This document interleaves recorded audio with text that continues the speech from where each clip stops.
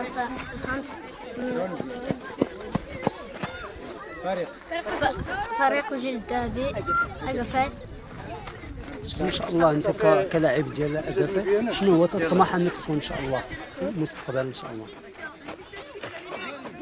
هذا راه ما شنو كتبغي؟ أنك تكون واحد اللاعب ولا تشوف شي قدوه ديالك من أحد الفرق؟ سوي السلاح يتنيح